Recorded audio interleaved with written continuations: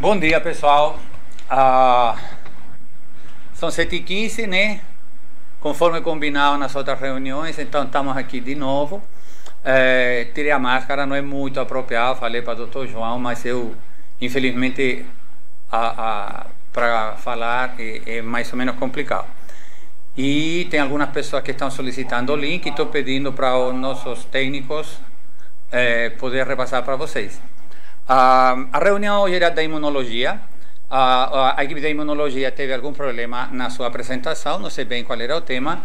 E quando falei com Raíssa e Teresa, a gente combinou que, eh, como eu sei que a maioria das pessoas, eh, entre que está um pouco desanimada, um pouco desestimulada, um pouco temerosa, eh, o vínculo é basicamente com a doença que está neste momento nos comprometendo. Então eu disse: olha, imunologia e esta doença tem tudo a ver do meu ponto de vista, né? Então, eu, do ponto de vista pediátrico, me comprometi a fazer um pouco na revisão.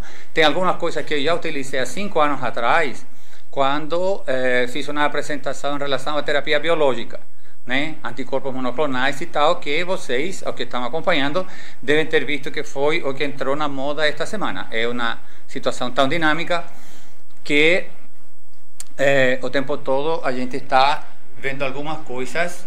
Aí João está recebendo o link e vai mandar para vocês.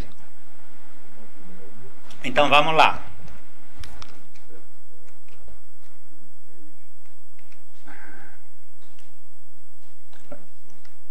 Ronaldo, não está passando?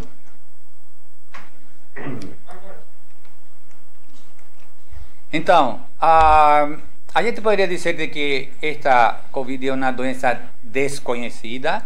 Uh, em boa parte sim, essa é a sensação que existe. Por outro lado, né, o que, que nós conhecemos, né? Se vocês verificam aí aquelas coisas básicas da pediatria, a gente, eh, infelizmente, o apontador, eu vou estar apontando aqui a etiologia, vocês vão acompanhando o slide, por favor. A etiologia a gente já conhece, né? Tem por enquanto esse nome, né? SARS-CoV-2.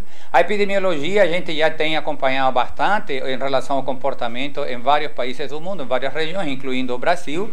O quadro clínico também é bastante conhecido, essencialmente uma doença respiratória, né? O quadro clínico então tem essa definição agora, COVID-19. O diagnóstico é alguma coisa que a gente vai verificar agora em relação à questão imunológica, né? Então eu vou me focar muito na questão imunológica, vai? Pediatra geral, imunologia, porque a gente já, inclusive uma das revisões que a gente fez foi em relação ao tratamento. Com o Eduardo fizemos aqui há algumas semanas atrás uma revisão em relação aos tratamentos propostos e nestas semanas estes tratamentos propostos têm cobrado eh, uma eh, clareza um pouco maior em relação àquilo que serve, aquilo que não serve, né? Eh, o prognóstico também, cada, cada país, cada região está definindo um pouco seu prognóstico, né? Eh, tem prognósticos bastante diferentes a depender das medidas que se tomar. E a questão da prevenção, essencialmente, que é a questão de vacinas. Eu não vou entrar muito na seara de Eduardo, tenho certeza que Eduardo daqui a um ou dois meses deve estar fazendo uma revisão, mas obviamente que existe toda uma preocupação e, e prevenção via vacinas tem tudo a ver com imunologia, né? Que como eu coloquei aqui embaixo, né? Onde está o conhecimento imunológico, basicamente se concentra naqueles pontos: diagnóstico, testes laboratoriais, tratamento, o uso de anticorpos e a prevenção. Só para se tem eh, estudantes, se tem residentes acompanhando, então lembrar alguma coisa básica e simples em relação à, imunologia, né? Então, todos estes conceitos já têm mais de 100 anos e não tem mudado muito, né? Esse quadro é um quadro clássico que todo mundo estuda. A imunidade tu pode adquirir de uma maneira ativa através da doença, né? A imunidade ativa natural. Muitas pessoas já, inclusive pessoas conhecidas nossas entre nós, já estão com esta condição e com esta característica. Tiveram a doença, né? E eles estão com imunidade ativa. Artificial, vacina ainda não temos. E a imunidade passiva, a parte transplacentária não se sabe muito bem mas o que sim vamos falar muito agora é daquela parte eh, passiva artificial, que seria a transfusão né, de anticorpos. E modernamente, de um tempo para cá, o pessoal está denominando isso de terapia biológica com a modernização de algumas coisas que foram feitas. Esse daí, né, só para lembrar, esse daí vai ser o personagem principal daquilo que eu vou falar agora, né? Então coloquei ali, esse vai ser o queridinho, esse vai ser o queridinho né, dos pesquisadores, vai ser o queridinho dos pacientes, vai ser o queridinho da indústria de alguma maneira e tal, porque eh, teoricamente de uma maneira ou outra todo mundo vai querer ter anticorpos contra isso. Essa é a estrutura básica, só para lembrar do anticorpo. Quem quiser ter alguns detalhes né, em relação a isso, isso é um artigo muito bom que eu posso emprestar, aí vocês me solicitam. Não vou entrar nos detalhes de em que consiste o anticorpo. Esse é o momento em que se eu estivesse lá no auditório, eu gostaria muito de não só lembrar o professor Fernando Figueira, mas é o momento em que eu pessoalmente fico mais à vontade sempre interagindo com a plateia. Eu não tenho aqui é, muita plateia, a não ser o doutor João aqui atrás de mim, né? Aí eu não sei se o doutor João, ele poderia me dizer quem foi que ganhou o primeiro Nobel de Medicina. Eu, né, já, eu vou dando uma dica, foi 1901, mas eu tenho certeza que algumas das pessoas que estão acompanhando já sabem disto, porque recentemente e de algum tempo eu sempre faço esta pergunta, né? E agora vem tem tudo a ver com aquela motivação, né, desta nossa reunião. Porque ou a outra questão óbvia é qual foi o motivo deste primeiro Nobel, né? 1901, pessoal, há 120 anos atrás. Aí às vezes eu faço perguntas outras, né? Quem foi Jim? Aí então, habitualmente as pessoas não sabem.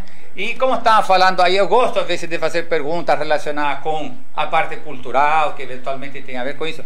Então tem um poema aí, né? Aí eu perguntaria também para a plateia, para saber se alguém sabe quem foi que escreveu o poema Pneumotórax. Tenho certeza que algumas pessoas da plateia poderiam nos responder, apenas para homenagear um poeta uh, regional. Então, os anticorpos os anticorpos têm esta questão, esta história, né? Então, esse senhor de ali é um discípulo de Roberto Koch, né, da escola alemã, e verifiquem que ele então começou a trabalhar com soro de coelhos, né? Está aí mais ou menos descrito.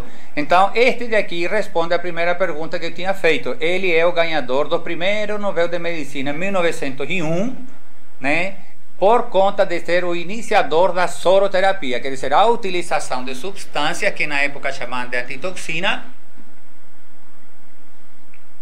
para difteria. Então ele ganha o primeiro Nobel e, na minha visão, passa a ser a primeira terapia específica antimicrobiana. Tudo que tu tem daqui para trás, né, utilização já de metais pesados e tal. Então, eram tratamentos que se usavam para doenças infecciosas, mas eu acredito, aqui reconheço pelo menos, talvez a primeira intervenção específica. O lado comercial dele, muitos deles tiveram seu lado comercial, Pasteur teve seu lado comercial, né? o Instituto Pasteur está ali e tal, e vocês vão ver outros que eu vou mencionar agora.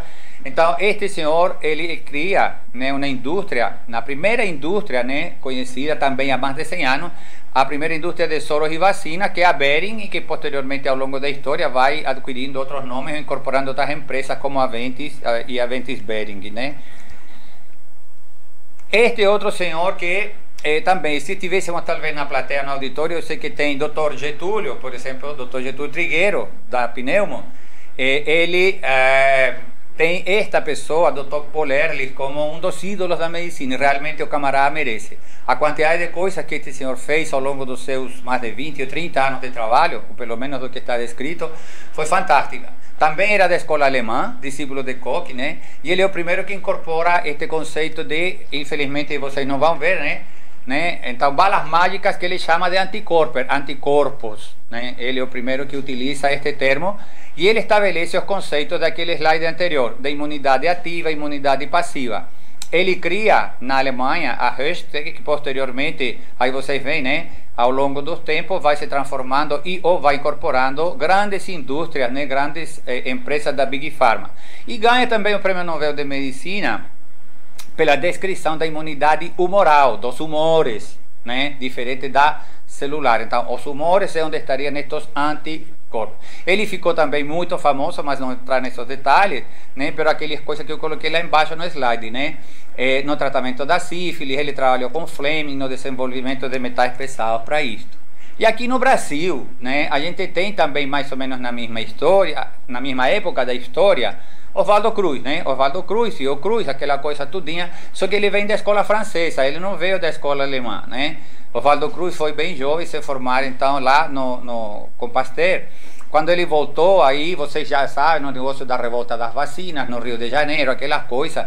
Mas o importante em relação à questão de soroterapia é que ele, então, funda o Instituto de Soroterapia, né, o que virá a ser Manguinhos, Farmanguinhos, Biomanguinhos, né? Na, naquela época trabalhou muito com febre amarela e varíola e também trabalha com empresas americanas para desenvolver aqui a criação de soros. Né? Então, um laboratório americano, dele à época dava apoio para o que seria o Butantan. E ele cria um conceito que é bem importante hoje em dia nas vacinas, né? que quando eles eh, colocavam nos cavalos, né? a, a, na, na, no sítio de inoculação da toxina para produzir o. Num lugar em que o cavalo tivesse uma infecção, havia uma maior produção de anticorpos. Então, este de aqui, Oswaldo Cruz, tem a ver com o conceito de adjuvante ou coadjuvante das vacinas, que deverá, eh, no futuro, vai ser né, bastante modernizado.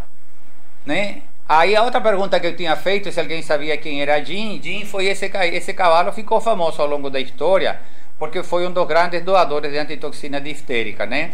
A regulação destas toxinas, destes soros, né? Vocês veem ali, então foram é, regulados sempre nos Estados Unidos por NIH, atualmente pelo FDA. Todos estes anticorpos são denominados, né, à época, anticorpos policlonais. Você não sabia muito bem que tipo de anticorpos você tinha ali. Isto para fazer a diferença com os anticorpos monoclonais. Eh, embora o que nós estamos utilizando hoje em dia na terapia dos pacientes seja exatamente, se vocês verificam lá em cima, o que se utilizou na gripe espanhola, na grande pandemia de influenza, né? Como já tinha começado a questão da soroterapia já há algumas décadas, muitos pacientes foram tratados com soro de convalescentes com um sucesso bastante razoável. Então, na década de 20 até a década de 30, vocês verificam ali, não vou entrar no detalhe, é, a soroterapia foi utilizada para muita doença pediátrica, sarampo, polio, meningite e tal. Inclusive, por exemplo, na meningite, à época se fazia o tratamento intratecal. Foi a primeira vez que a meningite mudou um pouco de prognóstico, de quase 100% de letalidade para eh, algum grau de sobrevida, embora a paciente ficasse sequelado, mas provando um pouco a especificidade disto, colocava-se então né, soro de convalescente dentro do, do, dentro do líquido. É, tinha muitas reações adversas, então o pessoal na década de 30 começou a purificar estes soros para não ter estas reações adversas, anafilaxia e tal, e passa a ser durante toda a década de 30, a gente ainda não tinha antibiótico-terapia, passa a ser o padrão ouro do manejo, por exemplo, das pneumonias, né? Inclusive, sendo pneumococo, já se sabia um pouco que nós tínhamos diversos sorotipos de pneumococos, mas em 35 aparecem as sulfas e as polimixinas, posteriormente nos anos 40 a penicilina e aminoglicosídeo.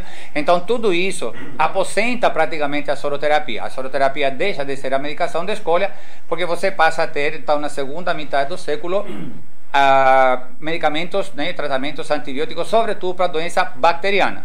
Mas ainda assim eles ficam, né, os soros para algumas doenças específicas, né, para raiva, para hepatite né? Aí vocês têm uma lista, né? não vou entrar nesse detalhe, mas entre o final do século XIX e, o início do século XX, né? nos primeiros 30 ou 40 anos, dezenas de doenças pediátricas e de adultos, quase todas infecciosas, e vocês podem verificar aí na lista, pelo menos 5, 6, 7 delas são doenças de etiologia viral, já eram doenças conhecidas de etiologia viral.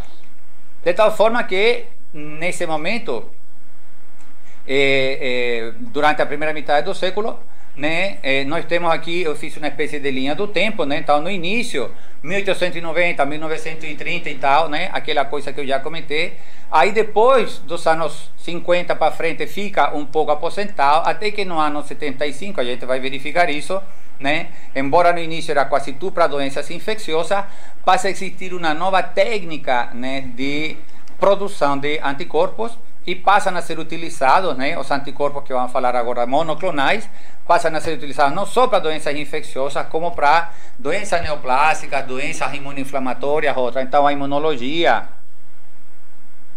a reumatologia, a oncologia, né, hoje em dia faz parte do arsenal terapêutico é, é, para os pacientes com essas doenças não necessariamente infecciosas. Aí então falei já e fiz a introdução que então nesta recuperação, né? Então no final do século passado, a gente começa a desenvolver já os anticorpos diferentes dos policlonais, Então, estes anticorpos monoclonais, que aí então colocou, vínhamos daquilo, para onde que a gente vai agora? Então, através de uma técnica que se chama hibridoma, eu não vou entrar no detalhe disto, né? mas eh, esta técnica permite, eh, de alguma maneira, fazer uma modificação na produção e produzir em larga escala, mas com um rigor que tem que ser um rigor eh, bastante estrito, por isso que eles são caros, né? E a gente inclusive vai conversar um pouco disso em relação ao tipo de laboratórios que podem produzi-lo, né? Mas eh, eles então começam a ser desenvolvidos. O pessoal que desenvolve o hibridoma no ano 84, aí destaquei, mais uma vez ganha o Prêmio Nobel de Medicina. Quer dizer, ao longo da história do Nobel de Medicina, a gente encontra na soroterapia pelo menos três ou quatro prêmios Nobel de Medicina, como sendo então um elemento eh, ao longo do século XX e talvez, não sabemos, né, neste presente e o futuro próximo, eh, a, a, o reconhecimento né, do grande avanço que isto significa.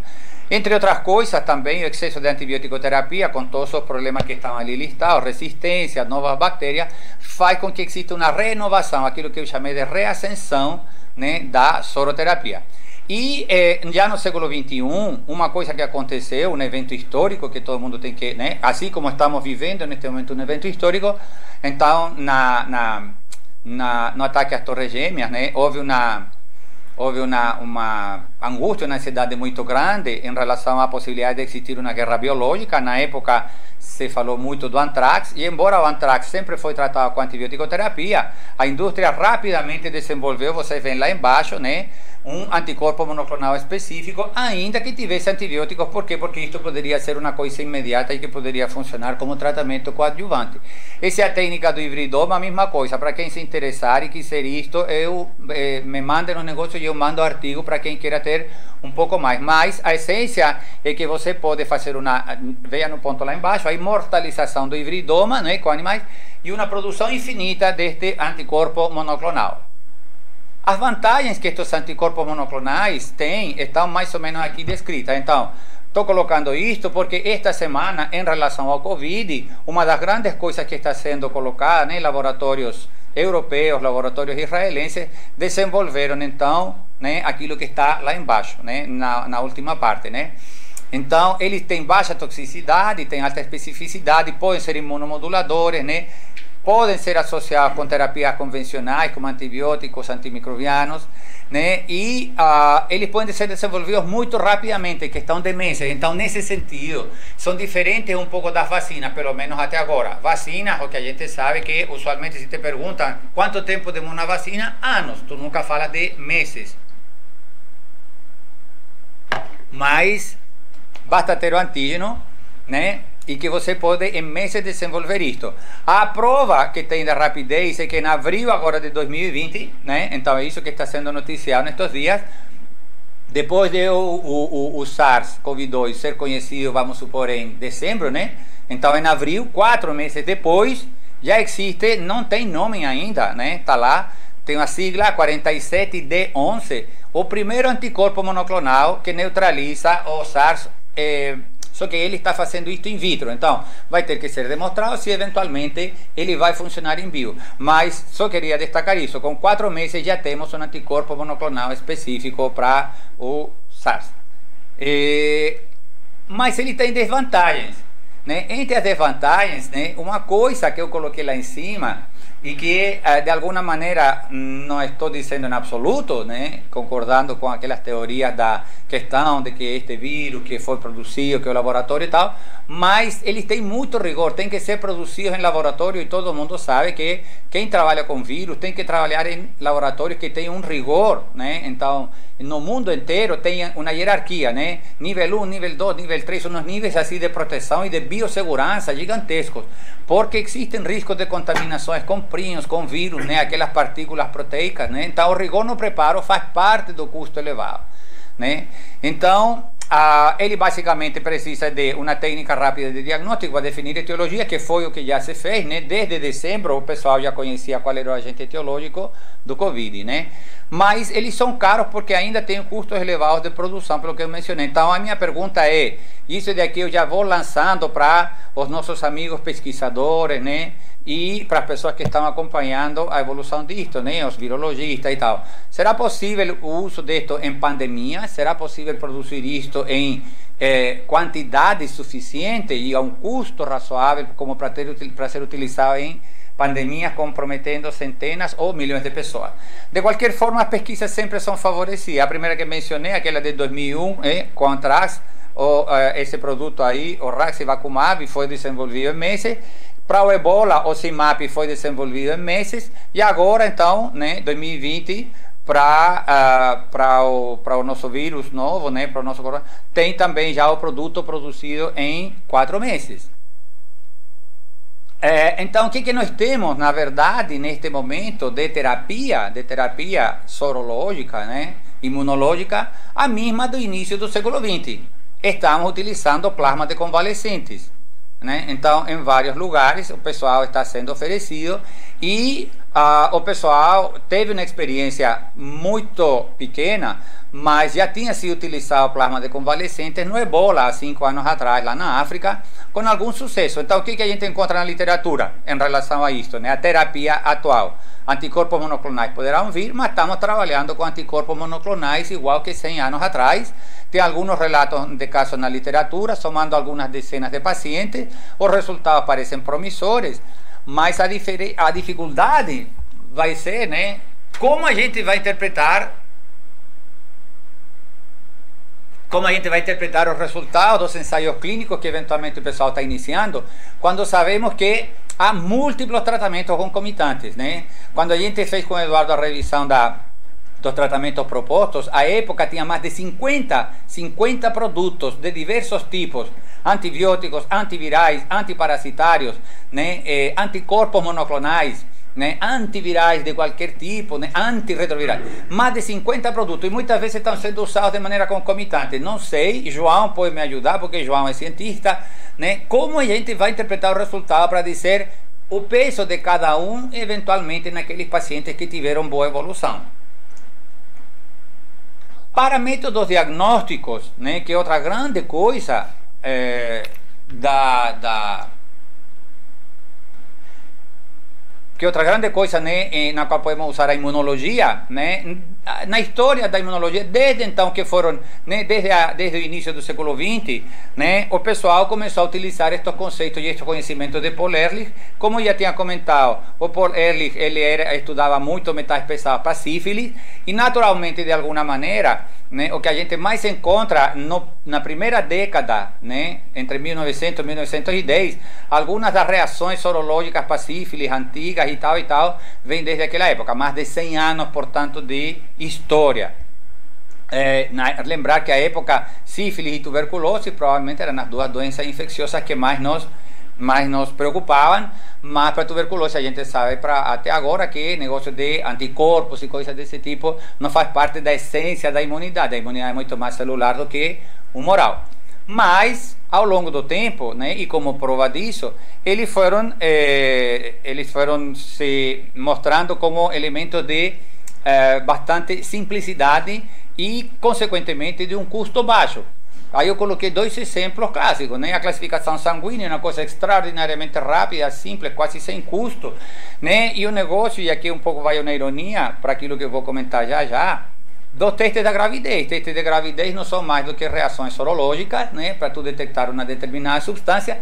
E estes testes sorológicos têm a complexidade nula praticamente. Você compra isso na farmácia a um custo acessível e as pessoas já vêm com um kitzinho ali para interpretar. Então, né, nos últimos, sei lá, 30 anos, é, e sobretudo a, a, minha geração, tá entendendo? A gente. Uma das vezes que eu cheguei lá em casa, fui surpreendido aí para minha mulher que me mostrou um negocinho de urina e disse: Olha aqui, tá vendo? Pronto. E esse negocinho do exame de urina, posteriormente, foi dos nossos filhos. Então, muita gente já utilizava isso. E aí a questão de. E sendo é, é, razoavelmente seguros, né? eles funcionam razoavelmente bem. A preocupação que eu tenho, como digo, isto se compra na farmácia, você não precisa de uma requisição médica, vai e faz por conta própria. Então eles foram desenvolvidos ao longo da história para quase todas as doenças infecciosas e depois de um tempo, e hoje em dia, tu utiliza isso também para inúmeras outras doenças da área da imunologia, da área da oncologia, da área da reumatologia. Então, para muitas doenças não infecciosas, também tu utilizas é, testes sorológicos em que os, os anticorpos participam. Ah, para, para o nosso SARS-CoV-2, é, o que, que existe? Muita coisa. Muita coisa e você se confunde. Né? Então, uh, ainda eles uh, têm muita dúvida quanto à especificidade, quanto à sensibilidade. Alguns poucos reconheço, estou entendendo que eu não revisei todos. Uh, o pessoal em geral fala de resultados relativamente satisfatórios. João, se tu quer depois comenta isso, né? Se tu tem lido, né? Mais satisfatórios entre 75% e 97%. Ah, se estamos acima de 90% de especificidade e sensibilidade, estamos razoavelmente bem. A preocupação que eu tenho é o seguinte Apenas 10 ou 12, a, a, leitura que eu fiz até 3, 4 dias atrás, são autorizados pelo FDA nos Estados Unidos. Mas existem mais de 200 testes neste momento em andamento para revisão e para autorização no mundo inteiro. No mundo inteiro. Provavelmente aqui no Brasil. E aí, uma das preocupações que na semana passada eu li era essa questão de um teste de origem chinês, que é muito semelhante ao Nelisa, né? E que vai ser vendido nas farmácias. Realmente eu não quis aprofundar isso, mas as pessoas vão começar. Então aí, por isso que eu coloquei esse negócio do teste de gravidez. Então as pessoas vão fazer por conta própria, como vai ser a interpretação, como vai ser se vamos ter falsos positivos, falsos negativos, o que, que as pessoas vão fazer com esta informação. Quando eu digo isto, significa que ele vai chegar a um custo razoavelmente acessível, né? Então, eu sei que não apenas os chineses, como muitas outras pessoas estão colocando este tipo de testes, né? Então, muito simplesinho, vocês devem ter visto, porque passou várias vezes, né? Uma gotinha de sangue, bota no negocinho, 10 minutos depois, você vai estar fazendo a leitura como que fosse praticamente um teste de gravidez. Preocupa, obviamente, né? Mas a gente não pode negar de que eles vão ter utilidade para uma série de aspectos. Eu não coloquei todas, mas definitivamente a gente teria que imaginar que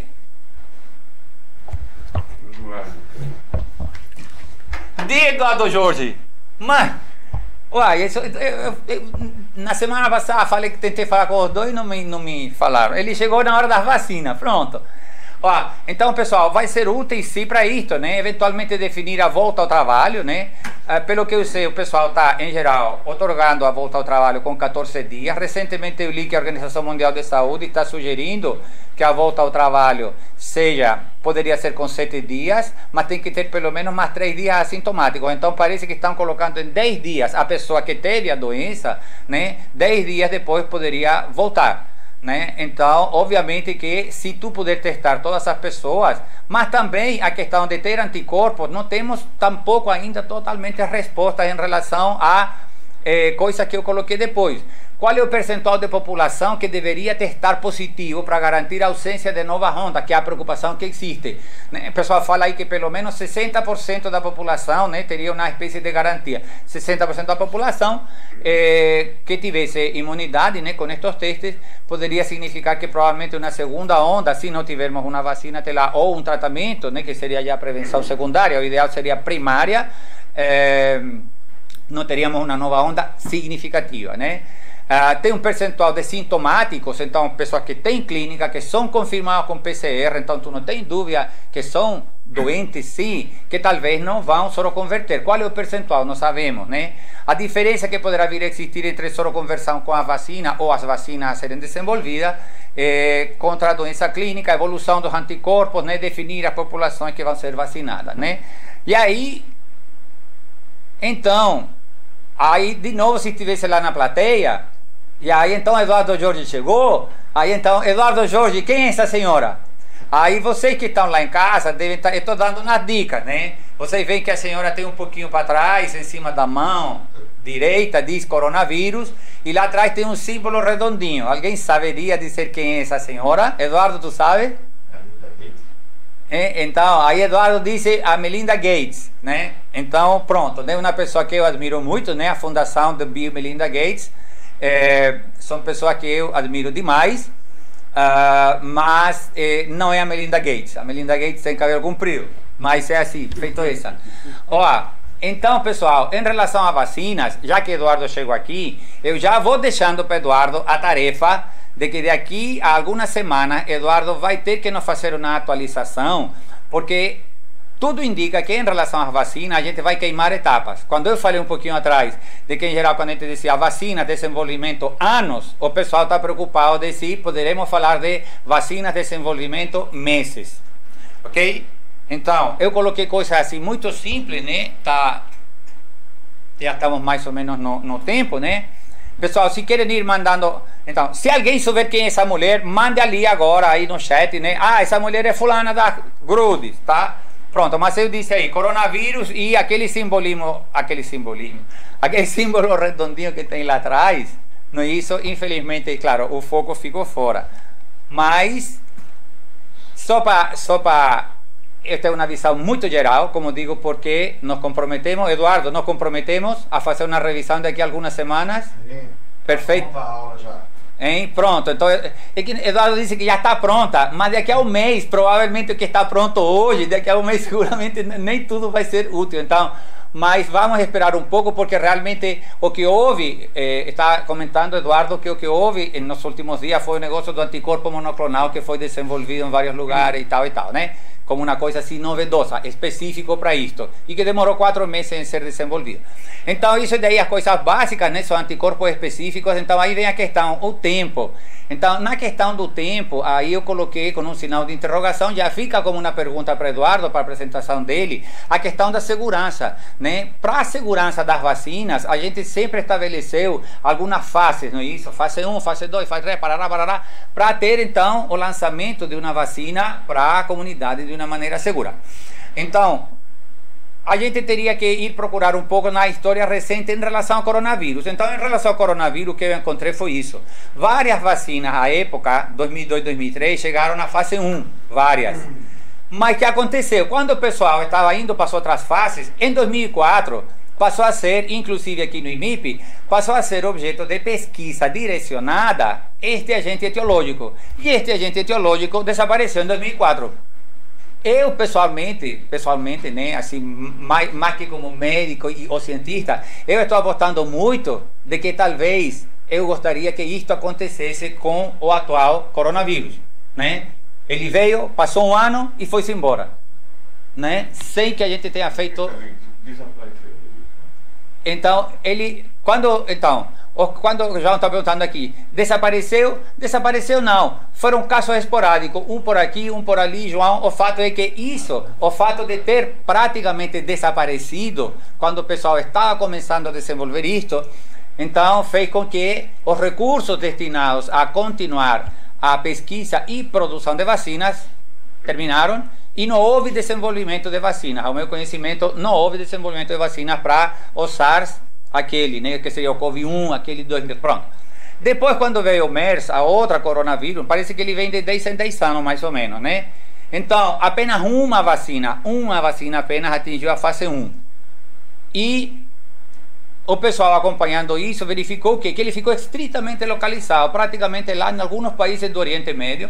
Não foram milhares de casos, embora a letalidade fosse gigantesca. Se a gente tivesse a letalidade desse coronavírus atualmente, eu não sei em que situação de angústia e de ansiedade a gente estaria. Então, mais uma vez, não houve desenvolvimento de vacina. O importante é que todas duas, para todas essas duas etiologias, o foco sempre foi esse. E aparentemente, pelo que eu sei, continua, né? Todas baseadas naquela glicoproteína S. Quando a gente fez a apresentação de teologia e nem precisa disso porque aparece todos os dias no noticiário e tal e tal, então aquele bichinho redondinho cheio de pontinhas, tá entendendo aquelas espículas, não é isso? Esse é a tal da glicoproteína S, spike, né? Que teoricamente é o que define a aderência e eventualmente a infectividade dele. Ah, e o foco, inclusive, de alguns anticorpos, desses anticorpos monoclonais e das vacinas, seguramente vai estar relacionado com esta capacidade de aderência desta é, glicoproteína.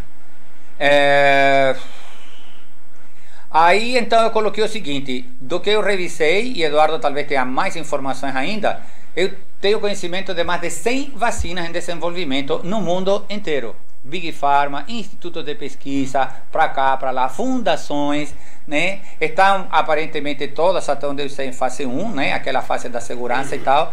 E então ainda não tem condições, né? Eu já vou deixando isso até como provocação, né? Se por acaso então vamos definir que Eduardo vai apresentar isto, então todas essas coisas estão ainda aparentemente sem resposta. No entanto, uma coisa importante que a gente se desenvolveu recentemente em relação a vacinas foi o seguinte: de que vacinas complementares por diversos argumentos. A mais clara para nós aqui foi a vacinação anti-gripe, anti-influenza, que foi adiantada para o mês de março e que continua e tal. Então foi sugerida de que isso seria como uma vacina complementar útil em momentos deste tipo, né? E também a vacina para pneumococo, diversos tipos de vacina para pneumococo, né? Aí com o doutor Eduardo aí temos uma divergência, faz conjugar para velhinho ou não faz conjugar para velhinho, só faz polissacaride e tal mas a vacina para pneumococo também. E aí, recentemente, eu li o seguinte: a vacina BCG, na semana passada, apareceu um artigo dizendo que a vacina BCG, que já se conhece há algum tempo sua capacidade né, imunoestimuladora, ele se utiliza inclusive para algumas outras doenças. Então, tem algumas experiências em que o pessoal está vacinando os trabalhadores de saúde. Estão fazendo uma, um reforço, independente da situação vacinal deles lá para trás.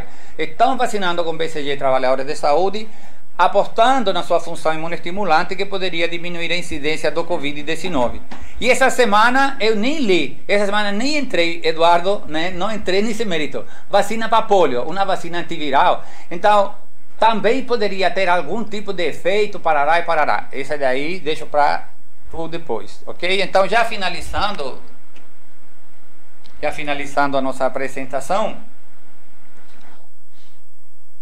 essa senhora, essa senhora se chama Ursula von der Leyen.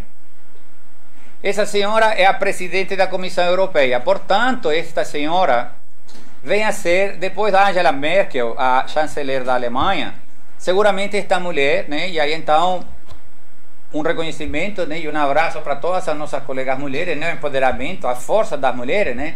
Então, esta, esta daqui é a segunda mulher mais poderosa da Europa, neste momento. E ela recebeu um desafio de um amigo, assim pelo menos eu li, de um amigo, um sanitarista americano, e disse: olhe, arrecade essa quantidade que está ali, 15 bilhões de euros para o Covid até o fim do maio. Ele fez esse desafio para ela. Ela topou o desafio e eu vi ela outro dia na televisão quando ela apareceu sorridente, né, com todos os méritos, porque ela arrecadou a metade desse dinheiro, 7,5 bilhões de euros, em três horas. Em três horas. Doadores estão aí, países, empresas, pessoas físicas e jurídicas. Infelizmente, não vou dizer, alguns países brilharam pela sua ausência em relação à colaboração. Ok? Mas uma coisa que eu achei bonita, e com isso já estou finalizando a apresentação, é que o objetivo e o compromisso, então, disto é o seguinte, que está ali embaixo. 50% pelo menos de todo este dinheiro vai ser para desenvolver vacina. E o resto para fazer testes e para fazer pesquisas terapêuticas. Então, basicamente, tudo aquilo que nós falamos da imunologia, está entendendo? Da utilização da imunologia para esta doença, vai estar favorecida por este dinheiro. Mas uma coisa que colocaram como requisito lá né, é, na comunidade europeia é que eles vão destinar isto para que seja um trabalho em conjunto. Então, este daqui de dizer trabalho em conjunto significa, e aí vem meu sinal de interrogação em relação a 100 vacinas sendo desenvolvidas por indústrias, por institutos e tudo isso. A intenção deste pessoal, e assim o colocaram, é de que os recursos todos se concentrem. Então, todas as pessoas vão trabalhar mancomunadas com um objetivo comum. Por quê? Porque o que ficou definido, e eu acho isso muito bonito, né? Para destacar, né? Em contraste com condutas muito egoístas, vai ser muito altruísta, vai ser muito dedicado ao outro, ao alter, né? Todo conhecimento, toda a vacina, tudo vai ser centralizado, todo mundo vai trabalhar em conjunto, colaborando uns com os outros. E os produtos finais, assim está definido, vão ser um bem comum. Não vai ser um bem de A, B ou C.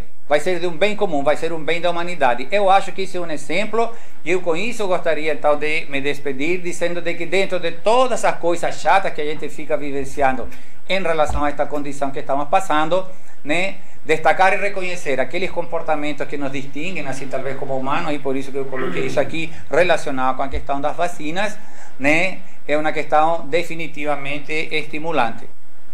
Então, pessoal, era isso que eu queria colocar para vocês, né?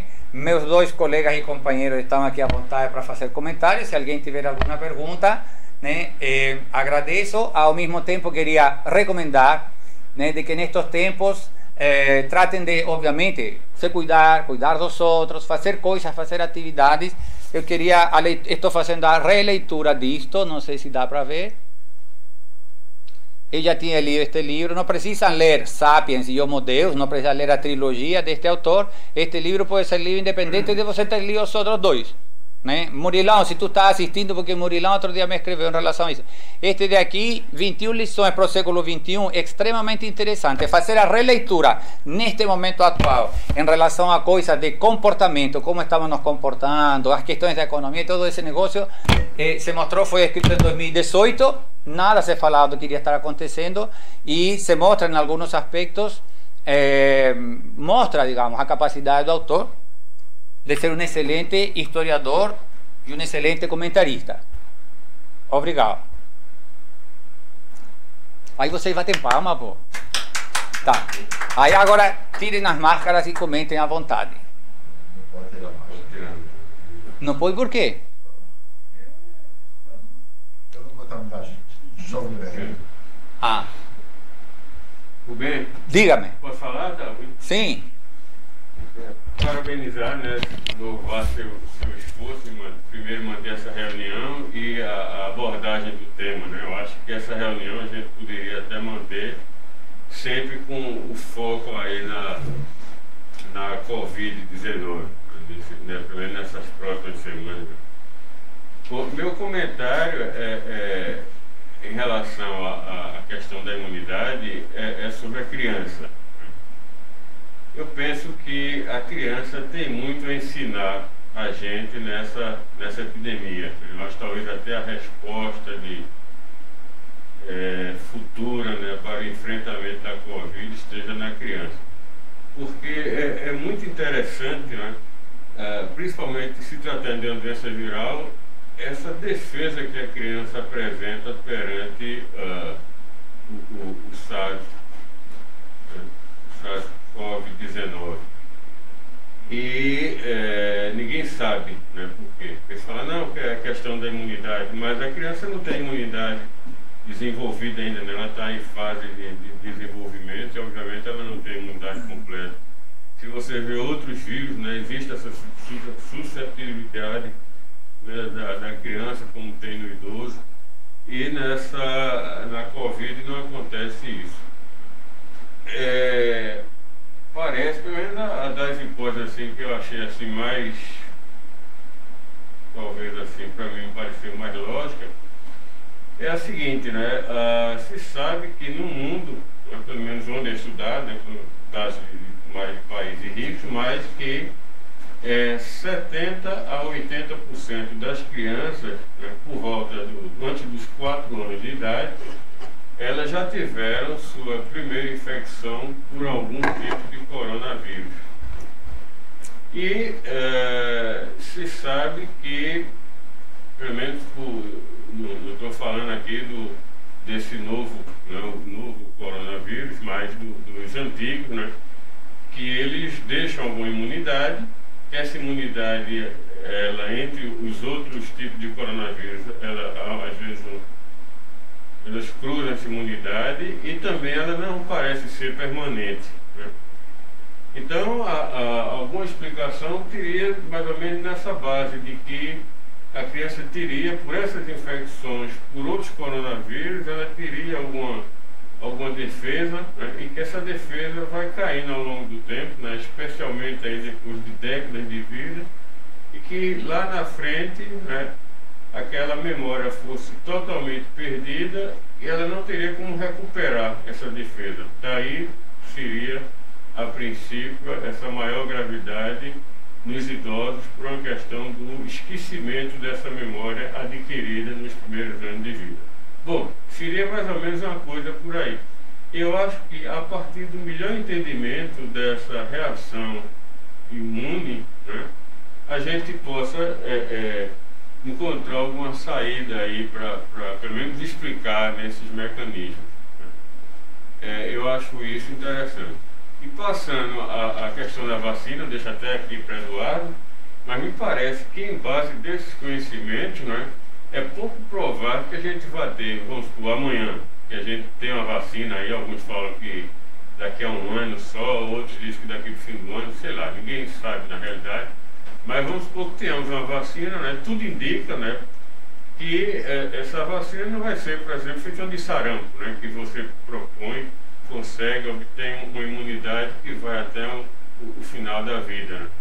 Então, me parece que, por essas evidências dos outros coronavírus, que essa, essa vacina, né, a, a imunidade dela não, não deva ser tão longa assim, de, de, de, de vários anos, talvez. Isso também. Uma previsão assim, baseada nesses dados das respostas imunológicas do, do, ao coronavírus. O Eduardo. Pronto, essa é uma doença que se aprende e se desaprende a cada dia. Em, em relação às vacinas, todas que estão em fase 2 já, são sete estudos, utilizam a proteína S, o spike, lá da proteína de desenvolvimento. E traz duas novas tecnologias nunca antes usadas uma são os vetores vacinais, é pegar o adenovírus e colocar a proteína S dentro do adenovírus para que produza anticorpo. É, a gente chama vacina de vetores. E vacina de RNA mensageiro que vai fazer que não se multiplique o vírus, ele quebre o RNA. Eu acho que por mais que tenhamos avançado em quatro meses, ainda vai começar os estudos de fase 3 em julho. Então, os estudos vão pegar cerca de, no mínimo, de 10 mil pessoas. Eu acho que com muita boa vontade a gente vai ter essa vacina no próximo ano e já é um tempo recorde. As vacinas elas se constroem em 5 a 10 anos. Então, se a gente conseguir em um ano e meio, já vai ser um progresso. Eu tenho várias preocupações, além da imunogenicidade, é a produção de vacina para o mundo inteiro.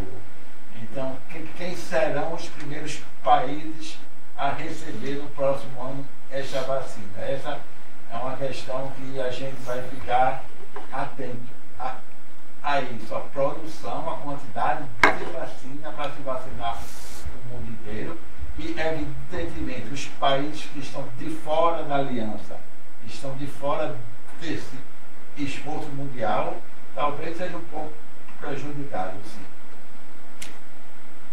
Eu, tem, tem vários comentários aqui, a gente agradece. Tem uma pergunta específica que vou tentar responder, embora eu não seja gestor, então não possa, a minha resposta não seja necessariamente a resposta oficial. Auxiliadora pergunta, a volta ao trabalho, até que ponto é seguro o profissional de saúde voltar ao trabalho após 14 dias de sintomas com PCR ainda positivo? Então, entendo que a pessoa teve sintomas, fez uma PCR inicial, confirma que está lá, 14 dias depois, repite uma PCR, isso, isso de aí, os coreanos já falaram muito disso. Eita, as pessoas estão. Até onde eu sei, esse negócio, essa PCR repetida não significa que a pessoa esteja doente, a pessoa já tem anticorpo. É isso que eu sei que estaria sendo a orientação oficial. A pessoa que tem isso e testa positivo, inclusive depois com sorologia, com 14 dias, até o meu conhecimento, meninos, vocês me ajudem, as pessoas estão liberadas para voltar ao trabalho.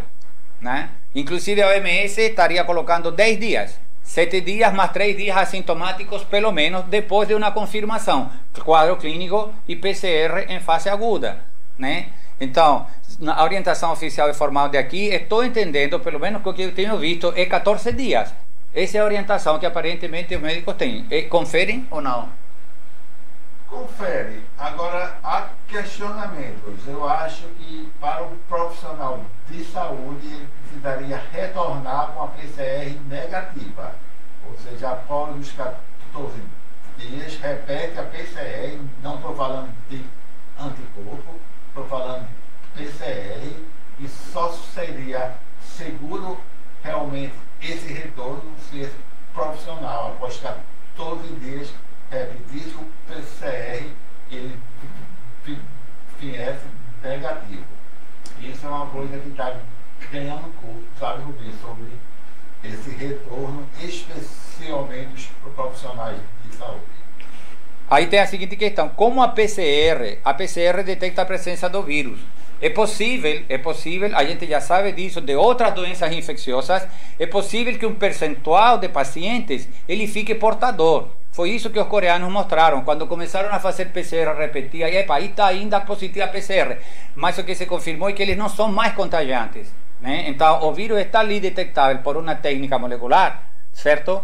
E isso é outra coisa que também não sei. Será que um pequeno percentual da população ele vai ficar como, né? Porque o reservatório tradicional disto, a gente assume que são animais. Aí botaram um morcego, aquela coisa tudinha, e em princípio os humanos não.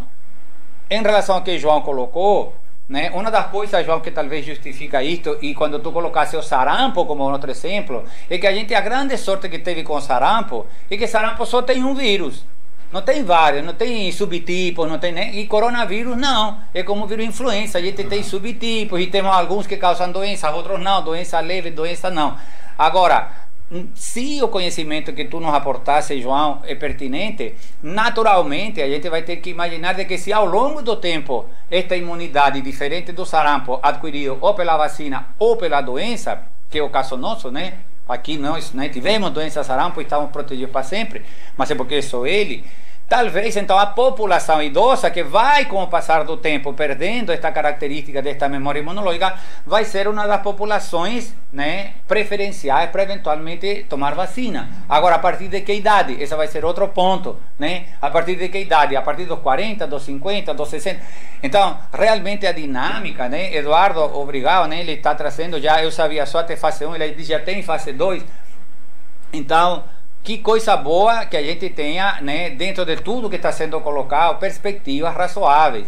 Também está eh, na, a gente não entrou aqui na questão terapêutica, né, mas ah, nos últimos 10 dias os americanos, com interesse ou não, né, deram muita força e deram muita ênfase aos resultados com aquele Remdesivir, que foi um dos dois produtos que com o Eduardo comentamos, né? Acho que vocês se lembram daquela aula, falávamos muito da cloroquina e falávamos muito do Remdesivir como talvez as duas mais promissoras. Aparentemente, a evolução está sendo assim. Mais uma vez eu coloco, como vamos interpretar os resultados quando você está fazendo nos mesmos pacientes 5, 6, 7, 8 produtos de maneira concomitante? Qual foi né, o mais responsável, eventualmente, ou que teve o maior peso, numa resposta positiva e ou numa resposta não positiva? Ou será que foi porque associei com ele e não teve um resultado tão bom?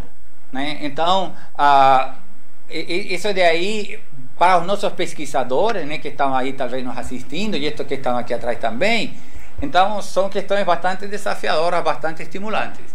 É, então, essa questão da. Pronto. É, Aí a Ana disse o que que concorda aí com o Eduardo, que o DNA do vírus morto, pois a... então, ah, esse negócio, Eduardo, sim. Então, como a Ana trabalha com isso, né, com a questão de, de, de, de técnicas de PCR, então, na verdade, a PCR pode detectar o vírus já morto. Então, aquela questão de tu ter uma PCR ainda não significa, e é isso que os coreanos concluíram, pelo que eu vi na semana passada, porque foram eles que levantaram isso. Eita, o paciente está bem, ele tem sorologia, mas a PCR ainda está lá. Essa é a interpretação que eles estariam dando, né? Tu poderás ter, né? Porque tu não precisas ter né, para uma PCR, tu não precisas ter o vírus é, vivo ativo, não vivo ativo, digamos, né? Basta detectar uma sequência de, de, de um ácido nucleico, né? É, pronto. Então, pessoal, se não tivermos se não tivermos é, alguma outra colocação, a gente já estamos 8 e 10, né? Então estamos dentro do horário, como o João gosta, 8 e 15, estamos finalizando. A Teresa me repassou que na próxima sexta-feira teremos a apresentação do pessoal da gastroenterologia, doença celíaca, atualização da doença celíaca, e ficaram aqui já várias ideias para os nossos companheiros. Eduardo disse que já tem alguma coisa mais ou menos pronta. Eduardo já propôs de que continuemos a estar atentos né, à evolução disto e trazendo, sobretudo para aqueles que estão tendo que ficar na ponta, dando plantão e às vezes cansados, não com muito tempo para se atualizar, a gente se compromete então a estar trazendo para vocês novas informações e é, desejar então um bom trabalho, um bom fim de semana e obrigado de novo, né? Obrigado meninos. É sexta. Vou ver aquela frase do